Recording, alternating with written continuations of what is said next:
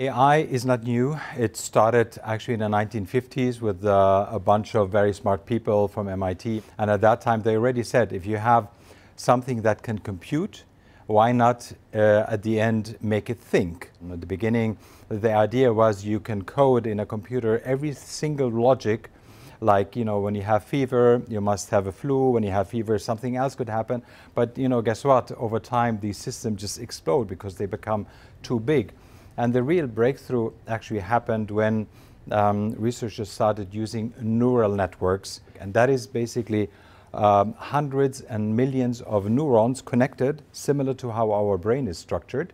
And these neurons can learn by um, you know teaching them like a picture of the cat and you repeat the picture and somehow you know the uh, the uh, connections adjust and it becomes smarter and really recognizes a cat